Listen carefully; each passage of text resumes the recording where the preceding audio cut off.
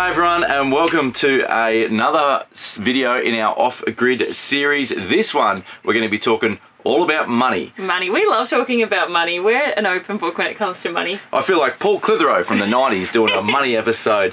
So just like Paul would say, uh, everything we're going to talk about here is just our personal experience, uh, our biggest advice would be get some professional advice if you're making a big financial decisions. Uh, this is just our ideas, our philosophy on money, the way we approach it all. So take take it as uh, one, I guess, one example of, of how you can approach money when it comes to traveling around Australia and enjoying those off-grid campsites. But yeah, please do your own research. Yeah. That's my little disclaimer. Done. Done.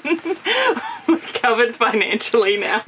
No one can sue us for bad financial advice. That's right. now, if you're new to our channel and new to this off-grid series, we've been shooting an off-grid series throughout this year. Uh, this is part seven of that series, I'm pretty sure, if I haven't got my counting incorrect. Uh, we've been covering off water, power, uh, everything, logistics, logistics and everything like that, apps we use, all this sort of stuff. So if you, you haven't seen those videos, jump back and have a watch those after this one. As I said, this one's going to be all about budgeting, finance, money when it comes to traveling, long How term. How do we afford it? How much do we spend? All those sorts of things. Yeah. Uh, not just for full timers like us or indefinite travelers like us, but how you might look at it if you're planning to do a shorter trip as well and some of the approaches you can take to money on that. Um, we will get to, at the end of the video, we will be sharing as well exactly how much money we've spent on a few things over the last couple of years to give you guys a bit of an idea. So speaking of money, every episode on our off-grid series, we've got a $100 gift card from Everything Caravan and Camping to give away. Yep. And Eric Kulmer, you are the winner of our last off-grid series. So yep. congratulations.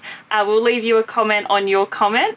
And um, if you could just send us an email, we'll uh, put you in touch with the guys from Everything Caravan Camping to get that voucher. Yeah, congratulations, Eric, and let us know what you spend your voucher on, mate. We yes. love getting that feedback, and thanks to everyone else that's won those vouchers for keeping in touch and letting us know what you've been spending them on. It's been awesome to see. Yeah, it's been so good. All right, and we are giving away, as Liz said, another $100 voucher in this episode. Uh, details of how you can win that at the end of the video. All right, let's dive in. I've got the laptop here next to me, so We've if come if prepared. I, if I am, we've got a lot to get through, so we're going to dive in. But if I am looking away from camera, I do apologise. I'm not trying to be rude. Uh, I'm just making sure that we're staying on track and following our notes here on the laptop. All right, so asking travellers how much does it cost to travel Australia is the same as asking somebody how much does it cost to live in a home. Everyone is so different. It doesn't cost you the same amount as it costs your next door neighbour, and it's the same with traveling. So, how much money you're going to spend, the only person who can really tell you that is you. That's right. But with that said, we are going to use our costs and our spendings as an example to help you get your head around it a little bit. But I think the biggest thing to understand is that how, like we've said throughout this series, is how you travel, where you travel, how many people you've got in a traveling party, what your setup is. I mean, there's obviously going to be very different costs involved if you're just traveling the country in a four-wheel drive with a rooftop tent versus if you're traveling the country in an expedition truck. Obviously, the, the costs are going to be vastly different. Uh, so you do have to take that into consideration. So what we really want to do with this video, rather than just telling you all of what we've spent and then you take that away and think that that's um, going to give you some idea of what you're going to spend, we think what's much more relevant is showing you how we've gone about thinking about what we're going to spend and some of the costs that are involved so then you can go away and do your own sums and figure out exactly what your costs are going to be. Kind of like when we did the electrical video, uh, there's no point us telling you what our electrical setup is and then you assuming that that setup's going to be perfect for you. It's exactly the same thing. You've got to tailor it to your needs and your spending habits. And like Liz said, uh, what you're spending at the moment in your home is pretty much the best place to start to figure out what you're likely to spend when you get out on the road because your habits now, what you spend on certain things are probably not going to change that much. Yeah. And that's the key to it is that your spending habits are your spending habits. And the more you know about how you spend and what you value, the more you're going to have a better grasp of how much it's going to cost you to travel. The best advice we could give you on how much it's going to cost you to travel Australia is to, after this video, get on your NetBank, get on whatever banking app you've got, and just look at how much money has left your bank account in the last 12 months. Yeah. Every single dollar. Everything for rent, for groceries, for fuel, for, you know, kids' clothes, haircuts, every single dollar that left your bank account and then try and categorize it into categories like rent, utilities, subscriptions, things like that. And then what you can do from there is just assess your spending habits. So, how much you spend on groceries isn't going to change when you go traveling. Yeah. it's just not going to change. Yeah, it's it might go up by 10 or 20% if you're traveling in rural remote areas because groceries cost more because of the transport cost. So, you know, you might want to budget that in a little bit, but your grocery spend is going to be the same Yeah. Because that's your spending habits. You're going to cook the same things that you cook at home. You're going to eat out as much as you eat out at home. You're going to, you know, drink the same amount as what you drink at home. That's your habits.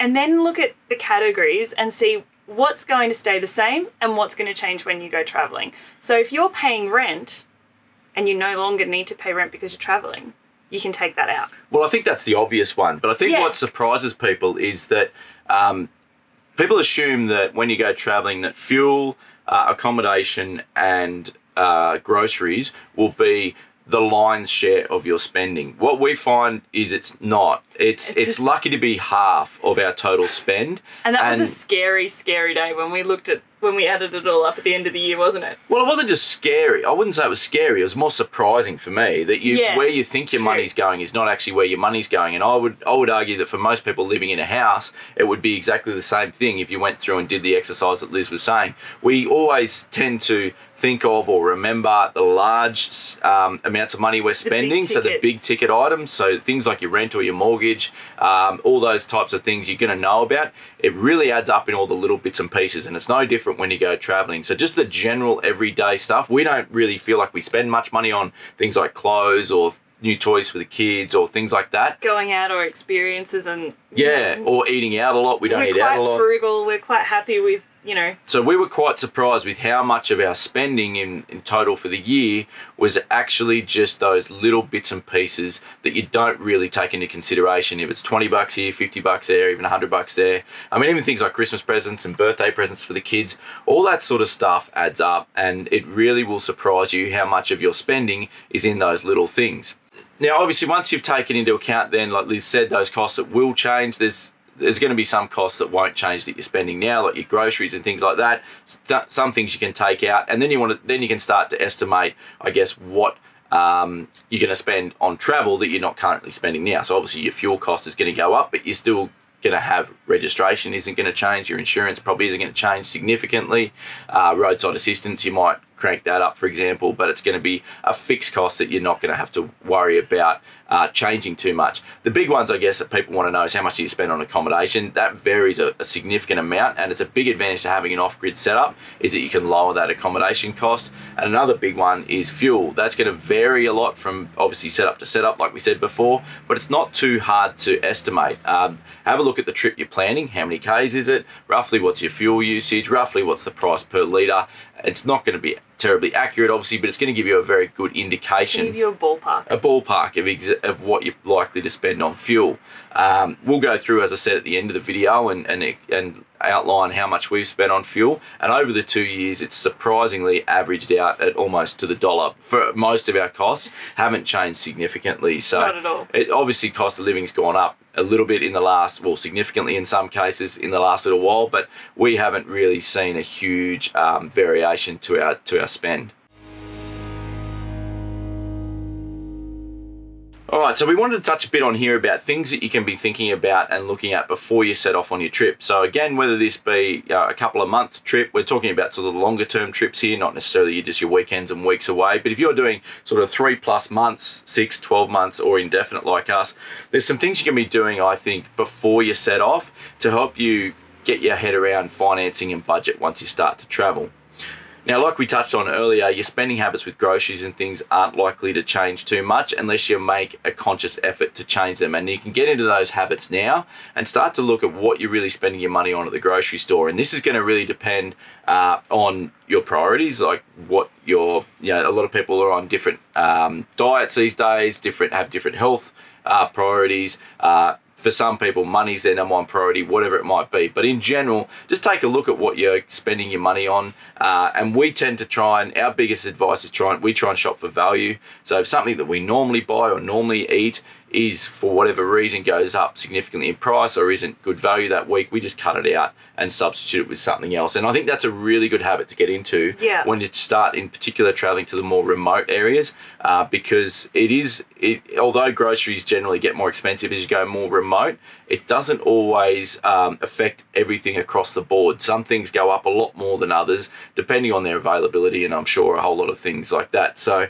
we really find being able to be very flexible with our diet and what we eat and, and what we buy has really helped us to keep the cost down. And I think you'll be surprised when we get to the end and tell you how much we spent on groceries in the last two years. People Um, are flawed.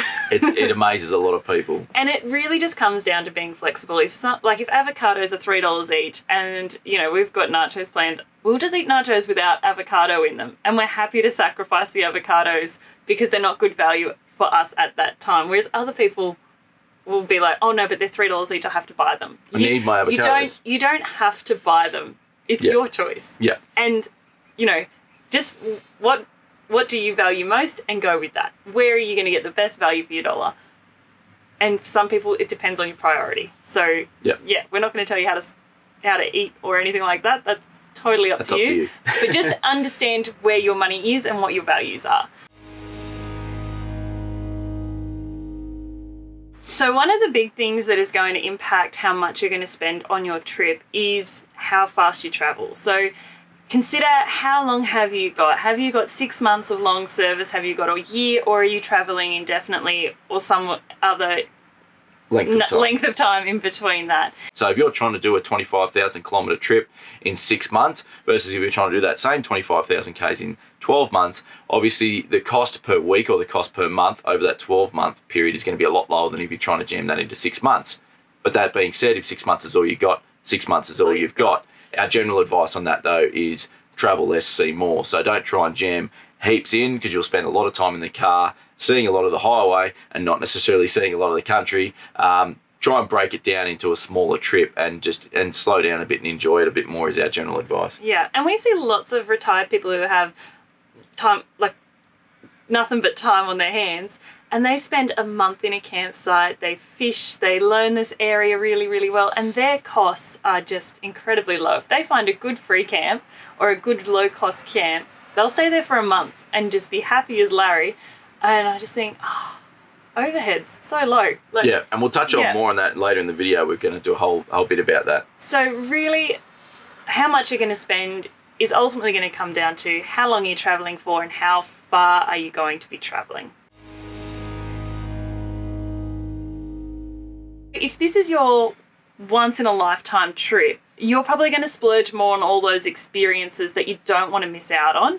Whereas for us who are traveling full time indefinitely, we wouldn't take our kids to, you know, a on a boat trip or a cruise every weekend if we were at home. So we're not going to do it while we're traveling full time either. They're special occasion experiences for us that we limit to like how would you say that? Like we just Well, we, we- only splurge on them when it's something that we think is exceptional value for money. Yeah, value for money and also just somewhere that we might not get back to, something Yeah. that we think is really going to suit the kids at their age that they are now. Yeah. There's been a few things like Horizontal Falls, for example, in the Kimberley, where the kids were too young. We couldn't take both of them with us. I think at the time James was too young. So Yeah. the logistics of trying to go on that trip without one of the kids and doing it separately or something like that, if that was a once in a lifetime opportunity for you to be in the Kimberley and it was a it was a bucket list trip, you Yeah. might have gone to the effort to make that happen. For us, the way we looked at it was we're probably going to go back there in the next couple of years when the kids are a bit older and it'll be much better value for money if we can all go together as a family and experience it together and, and splash the money out then. So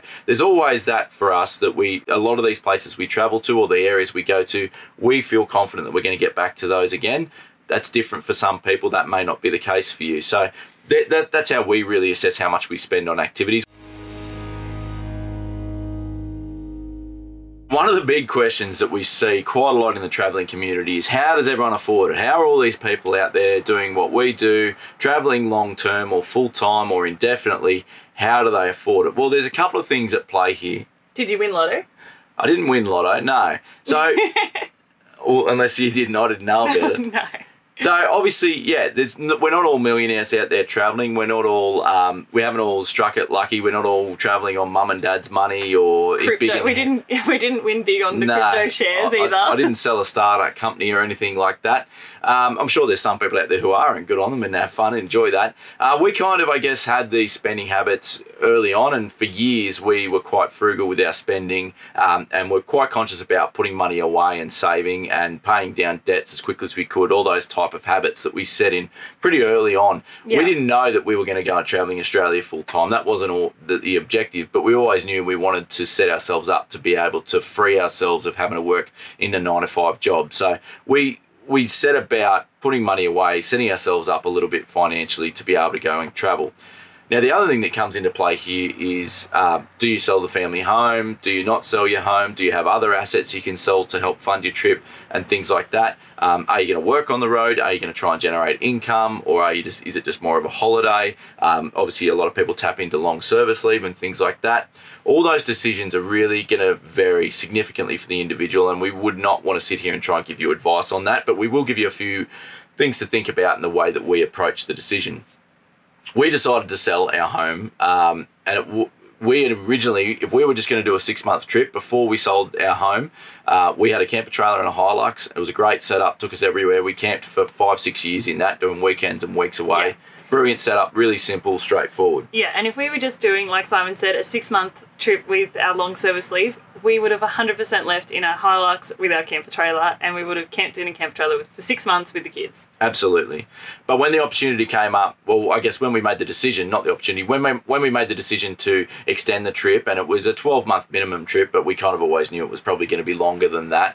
Uh, and the opportunity came up to sell our house when prices were reasonably good. I mean, we they obviously they got better since we sold it, but yeah, it, it, the opportunity came up to sell the house. We were never going to live in that house again. Uh, we'd actually already moved out of it, and it was rented out, and we were renting a house, but we were never going to live in that house again. We knew we didn't want to move back to that area where the house was. So for us, it was really, uh, there was not much emotion involved in that decision. It was very much a financial decision. We decided to sell our family home um, or sell what was an investment at that time, buy a caravan, so upgrade our setup, buy a new car and upgrade that, spend some of the money on that, and the rest of the money we invested uh, into the share market, and that's where we keep our money, so that that money continues to build and grow, and that when we've had enough of traveling, or we do decide to stop traveling, that um, we've got some money there to to get back into the into the property, Property market, if we want to. if we decide to. Yeah. But I think the big thing here that we talk a lot about is people's risk tolerance to that. Now, some people, Yes. um, you know, for us, we were quite comfortable with that decision. There's a lot of people out there that aren't comfortable with that decision, and that's that's absolutely fine. Uh, you may be able to look at other things like renting that house out, and whether that income from the rent will offset its costs, obviously, but also give you some income. Um, but yeah, there's, there's big decisions to be made there as to how to afford it. But I think the Maybe let that truck go. we'll let that truck go. I think the main message here with how do you afford it is everyone does it differently, um, and it, again it depends how long are you planning to travel for, uh, and how are you planning to travel. I want to really get out there that you do not need to spend hundreds of thousands of dollars on the best setup. There are backpackers out there traveling in ten thousand dollar cars with a rooftop tent on top and having the, The time, time, of their lives. lives. The absolute time of their lives. Sometimes we look at them and be like, oh, do you reckon we can go party with them? Now, obviously, that may not be practical if you've got kids and you're a family like us, or depending on your circumstances, that may not suit you. But I guess the point is that what, how much you invest in your setup is going to depend on your own fin- finances, your own situation, but also, again, how long are you're going to travel for. Uh, if you're only going to do a six month trip, uh, or even a 12 month trip for a lot of people to go out and spend you know $100,000 plus on a caravan and have an upgrade cars and vehicles and fit it all out with all these different things you can get very carried away, spend a whole lot of money, and it's a lot of money you're probably not going to get back, um, or you're only going to get cents on the dollar in back when you return. And I, I guess it might seem a bit hypocritical for us to say that in quite an expensive caravan, and and I mean our range is still it. there, but we do have a Land Cruiser coming and spending a lot of, lot of money on that. But there's different priorities for us. We travel full time. We're doing it indefinitely. This is our home, and this is also our business. Um, so there's different things that come into play there with that. We've obviously got the opportunity to showcase uh, different ways to travel and things like that. Um, but it's our mobile office, it's everything, and we're able to generate. We're fortunate enough to have to have been able to generate income while we travel, which allows us to do it differently. And we're going to touch more on the income thing So- later in the video. Yes, let's just stress that you do not need the best of the best of everything before you go. There are Just so go many with families. what you've got, Yep. and if you need to buy something or upgrade something, there are shops around Australia you can do that once you work out what you actually need. Yeah, absolutely. Yeah. Yeah, don't feel like you got to have everything and ev- anything before you set off and Yeah. assuming that you're going to need it all. Um, you're going to end up very expensive and probably overweight as well. Yeah, and we definitely see families traveling with tents. We see families traveling with ca- with camper trailers. We see families traveling in buses and vans, and you know all sorts of different setups. And it's just it's beautiful to see just the diversity in the range, and that everyone gets to enjoy the same beach no matter what your setup is, or the same mountains. You Yeah. know, everyone does it their way and what they can do, and it's just yeah. Just get out there and enjoy just it. prioritize if you want to go. Look at what your budget is and just work with that. Yeah, don't try. Don't wait until you can afford this really big flash setup before you go. Just go, go with what you can, and and you'll yeah, you won't look back. You won't regret it, and hopefully you get to do it again or extend your trip. Okay, so the when it comes to the actual cost of travel, we want to we we kind of categorize these costs into into two categories. Categorize into two categories. That works. Yep. You've got your fixed costs and the variable costs. Now, fixed costs are going to be the things like your rego, your insurance, roadside assistance. Um, what else can you think of? Fixed got- costs. Yeah, fixed costs. Uh, your subscriptions, things like that. Um, your other asset costs, if you do decide to keep a you know, real estate, um, you're going to have some costs associated Like with your that. rates and whatnot. Yeah, and obviously you've got then the costs that people probably don't uh, allow as much for, which is your lack of income or reduced income, and obviously the depreciation on any assets you buy, like your caravan and your car and things like that, is also probably something worth considering if you're looking at the total cost of a of a big trip. Um, they're likely to be significant costs to that. Then obviously you've got your variable costs, which are things we've touched on before, like food and fuel and accommodation costs. Um, your general household spending like clothes and knickknacks, souvenirs, Haircuts. haircuts, um, all that sort of stuff, which, like we said, will add up surprisingly. This is why we all have long hair. Um, if got, yeah, if you've got hobbies like um, you know fishing, obviously there's going to be some money spent on that. Um, mountain biking, snow, Snowboarding, snow yeah. trips, all that sort of stuff is going to add up as well. And eating out um, and and you know getting out and having a good time, which is something we do enjoy doing from time to time. Um, but yeah, we don't we don't. And it, again, that depends. How much we eat out really depends and where we are. Um, Yeah. Obviously, if we're in the middle of the outback, we don't go out for coffee and we don't go out to the brewery because there isn't one. Uh, if we're, you know, somewhere like Margaret River region, Busselton, we love that area and Yeah. there's heaps of breweries and wineries to explore and it can get very carried away there going, going out and uh, enjoying those. You're kidding. Yeah. I don't know anyone who would get carried away at a brewery. Yeah. Now, so obviously, fixed costs being fixed, they're the ones you're not going to be able to change, and they're the ones that are really easy to budget around. But don't don't feel like they you can't get a better deal on your insurance and things like that. They're worth looking at. I mean, Rego, you probably can't do a whole lot about. Although, if you are traveling full time, maybe look at if there's another state you can register your vehicle and your caravan in that might work out cheaper. Um, but yeah, in general, those fixed costs are going to be fixed, so that's going to give you your sort of baseline of what the trip's going to cost. Break it down per month or per week or whatever it is you prefer to do. And then your variable costs that are they're the ones you're going to have more control over, and they're going to be more influenced by things like how and where you travel, how quickly you travel, all that kind of thing. Okay, so obviously this being our off-grid series, what are the pros and cons when it comes to budgeting and finance of having a good off-grid setup?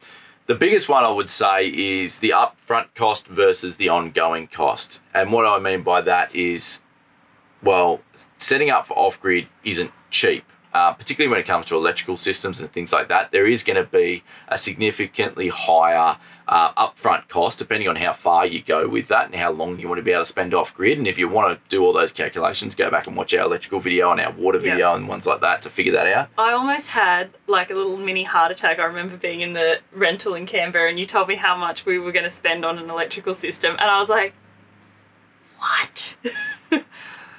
and I said, yeah, what? If you think we need it, yeah, go for it. And I have never, ever regretted spending that money. Never, ever. Yeah. Because what it allows us to do is, is not just spend time off grid and save money on accommodation, but it allows us to travel the way we want to travel and travel to the places that we want it to be able to travel where there just isn't an alternative. So when it comes to an off-grid setup and finances, you've obviously got that increased upfront cost, but the the flip side to that is that your ongoing costs are likely to be lower because you can not only not just because you can free camp, but even when we do stay in caravan parks, we generally don't, get on it, powered sites. don't need a powered site.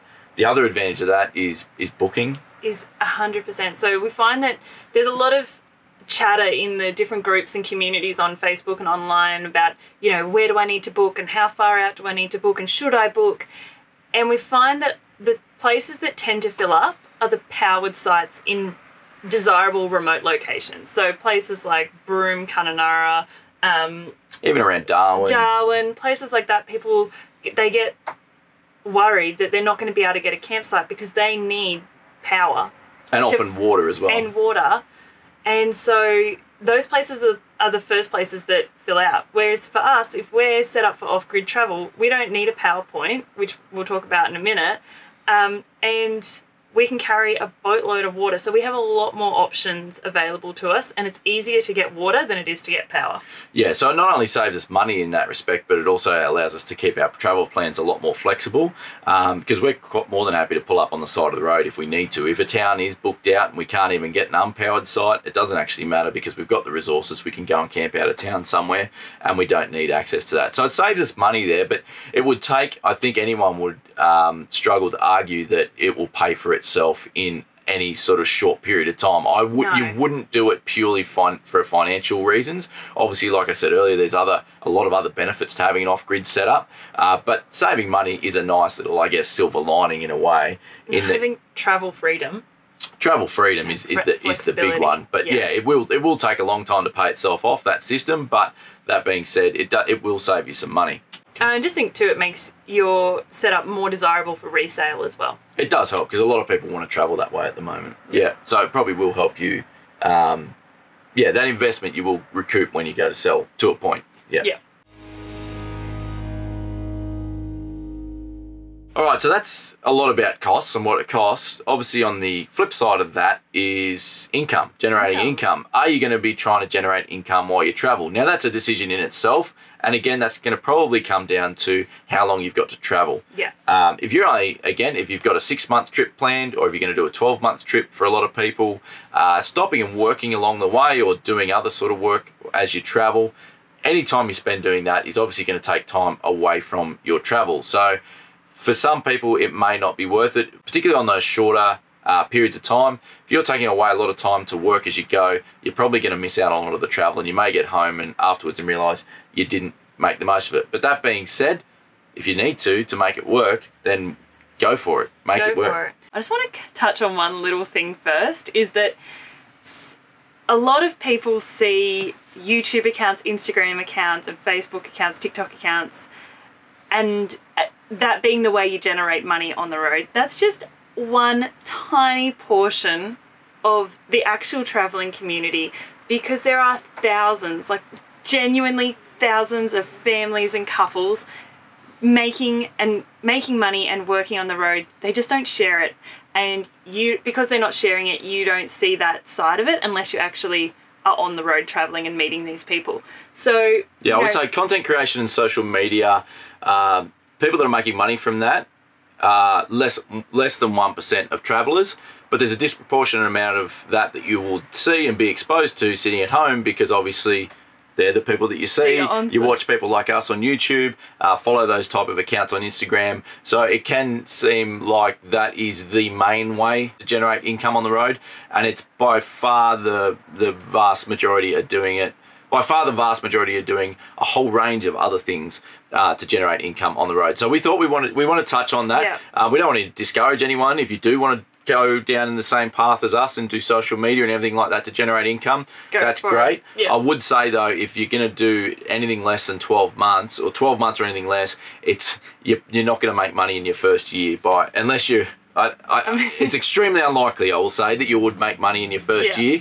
Our first year of YouTube, we spent over ten thousand dollars on the channel. So that's getting set up with cameras and, and laptops and subscriptions we needed and Yeah, everything we needed, all the software and everything to do our editing. We we invested ten thousand dollars, knowing that we were going to do it long term. yeah Um, and if you look at our 10% uh, monthly donations to charity we generate around about a thousand dollars a month from our YouTube channel. So Yeah, and that's only in the last 12 months. So the first 12 months it, it generated enough and it didn't generate anything. So, it's by no means a get rich get it's by no means a get rich quick scheme. well, no, it's it's very long term. So I, I think the short thing on that is if you're going to travel long term or indefinitely like us, and that's what you want to do, and you want to build it as a business like we have, go for it. it. It's a lot of fun. It's a lot of work, but it's a lot of fun. Uh, we wouldn't want to discourage anyone from doing that. But uh, we do just want to make sure that it's there's a bit of a reality check out there, I guess, that it's not a quick way to make money. Um, and yeah, you can't certainly, you're not going to offset a 12 month trip by doing some social media and making money on the side.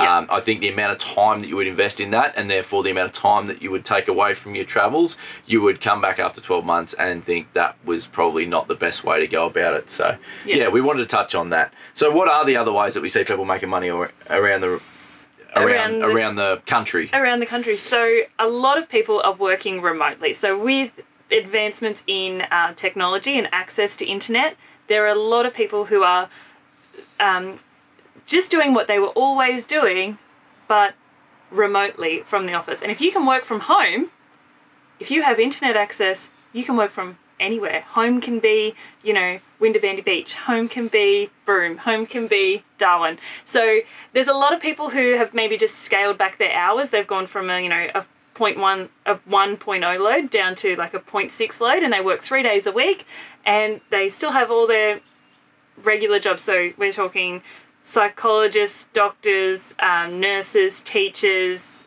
Yeah, you- we've business insurance owners, insurance, brokers, heaps yeah, and heaps. he- just any job that you can do remotely.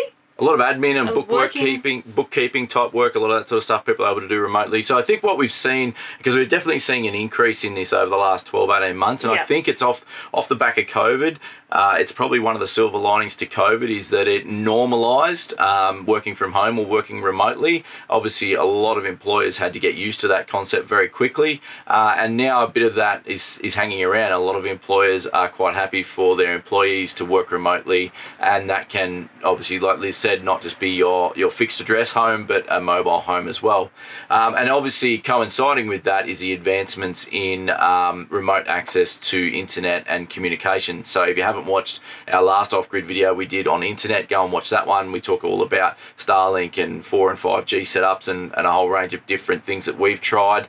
Uh, but i think those advancements particularly starlink um, in in recent times has coincided with that. And we're now seeing a whole lot of particularly younger people um, young families and young couples that are able to generate um, an income doing exactly what they were doing or very similar to what they were doing before but now just doing it on the road um, I guess the other main way is is to work in the places that you travel. Look at what your skill sets are. If you're willing to have a crack, there is so much work available, particularly in the more remote towns and the Yeah. touristy towns. Um, if you're if you're you know happy to go and do entry level jobs, you know, and and or if you can adapt your existing skill set to get those um, those other jobs that are out there as well. Um, that's a really common way. That's and particularly as well. Um, with the fewer backpackers and fewer overseas travelers now. There's a real glut for for farm anything from farm work through to hospitality jobs um, you know, Retail. retail all of those type of jobs that most of us could just walk into um, and have a crack at.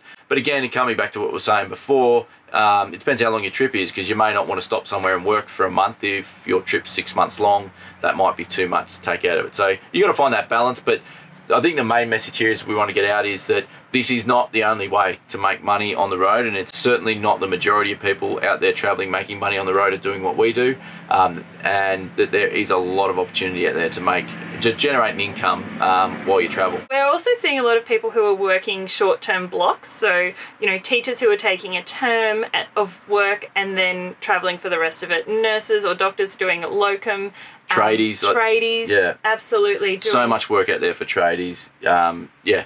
And, Yeah. and you can pretty much walk into a job as either a skilled labourer or, or in the trade. Um, yeah, I've been offered a few jobs as we've been going around or a few opportunities. And yeah, particularly in the more remote places and, and like, yeah, WA and places where they've had some impact by cyclones and things. It's just, yeah, there's heaps of work out there is the short answer. Absolutely. Yeah. And lots of seasonal work too in high tourist seasons or in like um, fruit picking seasons like vintage in wineries like we love working at our mate's winery doing Yeah. vintage it, it just there's so much opportunity out there you just got to think about what your skill sets are what your risk tolerance is, and how long you want to travel for. and what you want to be doing. Yeah. That's the big one. So they're obviously active ways that you can go about making money um, on the road or generating income on the road. And obviously the other big one is going to be those passive income sources. Things like if you do have real estate that you sit on that um, has positive cash flow that's going to generate some income. Um, if you've got shares like us, they might be able to generate you some income as you go um, or other businesses and things that you might be involved in. Um, any of those passive income uh, opportunities are out there as well uh, if you've got that money invested. So by combining those two things, which is pretty much what we do, combining a bit of our investments with a bit of our work that we do on the road, um, they're the two ways we make money. Centrelink is another way that some people, obviously pensioners, but some people are eligible for Centrelink payments as well as they travel. All of those Centrelink payments that people are eligible for don't require them to be at a fixed address and live in the same place, so they're able to travel and still have access to those Centrelink benefits. So, depending on your circumstances, it could be worthwhile looking into um, whether you're going to be eligible for those. And as your situation changes, um, from going working full time to potentially working less or not at all, you may find there's other Centrelink benefits that you may be uh, eligible for that you weren't before. So it's probably something that it's got a bit of stigma around it, um, but I figure if you're eligible for it, go for it. That's how I look at it. But um, yeah, it's it's something that uh, probably a lot of people miss is um, is what Centrelink benefits that might be out there for them, particularly if you're a young family or, or a parent. All right, so we're just going to just briefly touch on uh, how much money we've spent over the last two years, and like we said, we don't track all of our costs. Um, so it's just we're just going to really touch on some of those main ones that we get a lot of questions about, which is obviously accommodation, fuel, and uh, what's the other one? Groceries. groceries. Groceries. Yes. Um, so f- some things that aren't included in our grocery budget are um, grog. We don't include my beer budget and our wine budget in that. So that's on top of this. That's something to keep in Pretty mind. Pretty much just triple our budget. Yeah, that's right. Uh, and we don't we haven't added up how much we spend eating out. Um, you know, beers at breweries and wineries. Although we don't do many wineries, um, coffee shops, grabbing a pie from the bakery occasionally. Um, although it's been a bit more frequent lately. Things like that aren't included in our groceries. It's literally just what we buy at the supermarket. Um, so, so when we sat down to do this, actually, just before we filmed this um, and turned the camera on, we were actually really surprised when we compared. We haven't actually done it before. Compared our first year and second year of travel and how what's um, stayed pretty much the same, Same. and scarily close, and what's changed a little bit. Uh, but in general, I guess we've we've found our average because the average is very very close. So let's kick into it. So in our first year of travel, we basically went from Canberra to Melbourne to Adelaide to Darwin to Broome to Perth and back across to um, our hometown of Leeton, which let's call it Canberra. It's close enough. Wagga Wagga region. Wagga region. So that took us, we did that in that first year, we did third, 32,836 kilometres um, in that first 12 months. Yeah. And in our second year, we went from say Canberra up to Brisbane, up to uh, Cooktown. Almost, almost to Cooktown. almost to Cooktown, then back down through the uh, through Snow. the snow, uh, Vic High Country, down the south coast of New South Wales, down the Victorian coast, into Tassie, Yep. and then back up again. Back to the back to back to Leeton, which we are now. And the second year was, so that was 26,663 kilometres. So between the two years, we did, in our second year, we did about 6,000 kilometres less than in our first year, um, which was quite deliberate actually. We realised in our first year we probably went a bit too quickly and yeah, travelled a bit too quickly, and we made a deliberate decision to slow down a little bit. Um, a few things got in the way of that, and we actually ended up doing a bit more than what we planned. But yeah, we ended up doing just over that twenty six thousand. But interestingly, fuel cost uh, was identical, or almost exactly the same. 100 litres, kilometres. Wait, Spit it out. Yeah, you say it. So in the first year, we spent a touch over nine thousand dollars on fuel, nine thousand and forty-one dollars, which was one hundred and seventy-three dollars and eighty-seven cents a week. And in the second year, we spent eight thousand eight hundred and sixty-five dollars on fuel, uh, or one hundred and seventy dollars a week. So near enough to 170 175 dollars a week on fuel now obviously we did a lot fewer Ks the second year, but in case no one noticed, the fuel The price, price went up, up. so the average ended up staying about the same. Um, so, in uh, just to give you an idea as well, on average, we use about 17 and a half litres per 100 Ks with the Ranger. Um, that's a mixture of towing and not towing. So, that's just over the entire year, we average about 17 and a half litres per 100. Uh, so, that's what that, that is worked out on. All right, so what did we spend on accommodation in our first year? So traveling through the South Australia, Northern Territory, WA, we spent four thousand nine hundred and fifty-seven dollars on campsite fees, which is pretty bloody good considering we were paying five hundred bucks a week renting Canberra. Yeah, so, that works out at about 95, just a touch over $95 a week. and that's with a lot of free camping and a lot of low-cost camps. Yep. And then in our second year, when we travelled the East Coast, we actually spent less. So we stayed with a lot of family and a lot of friends. You know, we've met a few people. yeah, and we spent two thousand one hundred and sixty-nine dollars on accommodation in our second year of travel. Yeah, which, Which- works out to be a tiny forty-one dollars, just almost forty-two dollars a week on accommodation in our second year of travel. Yeah, that's pretty incredible. So I think that there highlights one of those benefits we were talking about of having a really good off-grid system and being able to spend a lot of time off-grid. I think in that first year where we spent almost five thousand dollars on accommodation, about ten nights of that we're actually plugged into power and paying for a powered site. So Yeah. you can see there that it, it allows us, like we said, not just to stay off-grid and in free camps and low-cost camps, but also just to spend less on caravan parks because we don't need to be plugged into power. And then groceries, uh, we spent ten thousand three hundred in our first year and ten thousand three hundred and thirty-four. Literally our second year. thirty-four dollars difference in our total Yeah. grocery spend first year to second year. Yeah. So we averaged That's that one out perfectly. That is just a hundred percent habit. And I think that's what we were touching, and, and that highlights what we were touching on earlier in the video, where what you spend now is likely to be very similar to what you spend on the road uh, because you eat what you eat, and it's all very similar. Um, and in the same way for us, uh, what we spend in year one to year two is exactly the same, basically. So that works out to be about just under $200 a week basically is our grocery spend which surprises a lot of people and i know f- that's feeding a family of four Yeah. um, and this is where we were saying your spending habits at the grocery store can have a big impact on your total spend. Uh, and don't underestimate how much those small items and those things that just cost a little bit more um, will add up and will will have a big impact on your grocery spend. We like to think, or we do shop for value. Um, like we Yeah. said, we'll adjust what we eat based on prices. Um, we don't eat a lot of red meat if it's expensive. Where seafood's cheap, we'll eat seafood. Where seafood's expensive, we won't eat seafood. Yeah. Um, Buy what's in season, what's on sale. fruit, fruit and veg. We try and we try Yeah. and shop um, if we can away from the grocery stores a little bit as well for fruit and veg. Although it is pretty tricky and we're hopeless at missing markets even when we're in the town the day they're on. It's a become a habit. I don't know. Oh, we don't buy a lot of convenience foods because we've got more time on our hands to make food from scratch and it's just a lot cheaper. So, yeah, that works as well. The yeah. Thermomix is great for that. yeah. Uh, so that means um, for the the two years, uh, our total average across the two years for accommodation, groceries, and for fuel comes in to be four hundred and forty dollars a week. Um, pretty pretty cost effective, pretty cheap. As Liz said, that's less than we spent on rent alone when we were living in Canberra. So that works out to be a little under $23,000 for a year at that $440 a week average. Now, I can tell you we spend significantly more than $23,000 traveling each year. And this is what we sort of mentioned earlier in the video is that fuel, accommodation, and groceries, while they will be significant parts of your budget and your total spend, it is not going to be. Um, I think ours is less. We spend over at least $50,000 a year Yeah. To six fifty to sixty.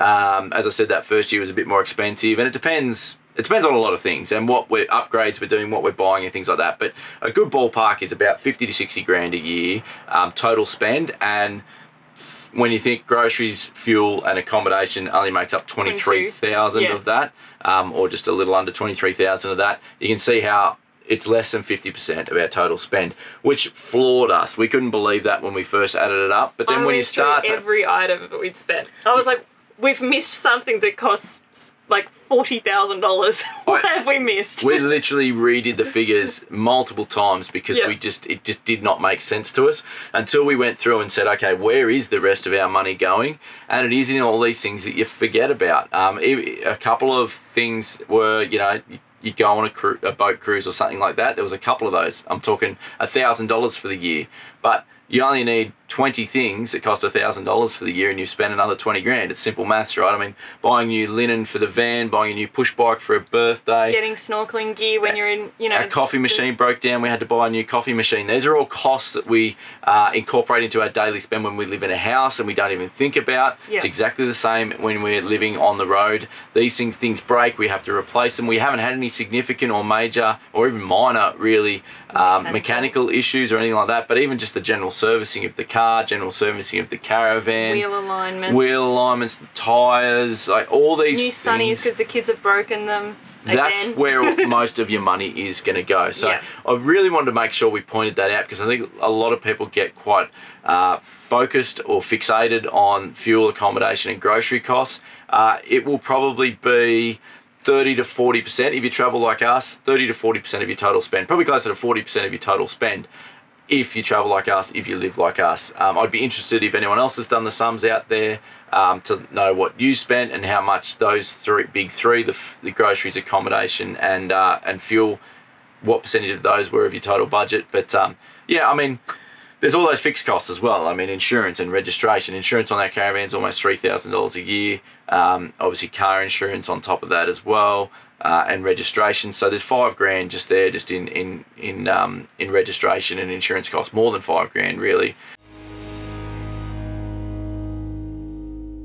As Paul Clitheroe would say, it's not about earning more; it's about spending less, and and that just is our number one mantra when it comes to personal finances, um, whether we're traveling or not. But it really comes into play when we're traveling. Uh, we do want to just drop a couple of quick tips that we've found really helpful for saving money on the road. So this is a big one. Yeah. All right. So number one is get yourself the WikiCamp app and use that to find free camps and low cost camps because that is going to save you a heap of money. That six dollars that that app costs is going to save you hundreds, if not thousands, of dollars in campsite fees. Yep, if you haven't watched our planning and logistics video we did for Off Grid series, we go into far more detail on that. And we do have a video coming up on our channel of how to get the most out of WikiCamp. So make sure you subscribe, keep your eye out for that one as well. Tip number two Two. is, again, and we mentioned that video, is the Fuel Map app. Um, finding cheaper fuel makes a massive difference. Fluctuations can be more than 10 cents a litre in the same town from one servo to another. We found one that was 30 cents difference between one side of town and the other side of town. Yep, Just- and maximize your fuel discounts. Do your research, look at fuel discounts. We find at the moment Coles Express is by far uh, the easiest one because you can add up discounts. You can spend money in store and do some of your groceries there, plus your grocery store discount, plus other discounts. You can add them all together. You get up to 18 cents a litre, which saves a stack of money. If you are buying anything, like I mean anything, like even if you're buying a hairbrush online, look for a discount code. Yep, Put it in your, sh- like, add it into your shopping trolley or your cart. Go online, search for a discount code, and if you can't find one, then exit it. And then I guarantee you within the next 48 hours on your social media account, you will get a promo offer of some sort and get a 10 or 20% or free shipping offer. Just use Yeah. discount codes to your advantage for anything you buy and search secondhand because a lot of items it's better for the environment if you're buying it secondhand and it's usually in really good condition and it saves you money. So Yep. go on Marketplace, go on Gumtree, go on um, what's the other big one? eBay. Be savvy with your money. Find things that are secondhand. It's just a win-win-win. We love it. We love. We're, Yep. we're massive bargain hunters. Like we are. We love it. love it. Love it. How can you win the $100 voucher we're giving away for everything caravan and camping? Same as every week, if you've been following this whole series, you'll know exactly what you need to do, and chances are you've already done two out of the three things you need to do. That is subscribe to this YouTube channel. Uh, we'd really appreciate that, and it does help us out, and it means you've done the first thing to enter that giveaway. Number two is to jump over and sign up to the Everything Caravan and Camping newsletter. There is a link for that in the description below. And the third one, leave us a comment. Let us know what you thought of this video. Let us know that you've done those three things, or two of those. Obviously, the comment is the third thing. Let us know that you'd like to be in the draw to win that $100 voucher, and we look forward to drawing that in our next part of the Off Grid series. Heaps more content coming up on the channel, especially around our brand new caravan. We've got walkthrough videos, we've got install videos of some cool gear that we're fitting up to the van as well. Uh, and then we're kicking back into our travels. As many of you know, we've got some big travel plans this year. We're getting up to southeast Queensland and northeast New South Wales, kicking off our east-west crossing in the coming weeks as well. All that and heaps more coming up on the channel. Can't wait to show you all that, guys. Make sure you subscribe. Thanks for watching, and we will see you next Sunday. See you next Sunday, and hopefully we see you on the road soon because you've nailed your budget down and you're ready to go. Look out for us in the titanium because Yeah. we're a bit incognito at the moment. all right, guys. See ya. See you later.